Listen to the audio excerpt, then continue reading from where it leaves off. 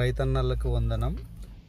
ఈరోజు మీకు మిర్చి నారు టమాటా నారు వంగ నారు పోసానండి. ఇంటి దగ్గర కొంచెం శాంపుల్గా. ఇవి మనం బెంగళూరు హార్టికల్చర్ యూనివర్సిటీ నుంచి తెప్పించానండి సీడ్స్. చూడండి ఫస్ట్ మిర్చి తర్వాత మంచి ఇవి టమాటా మొక్కలు అండి చూడండి ఎంత ఒత్తుగా వచ్చినాయో టమాటా మొక్కలు.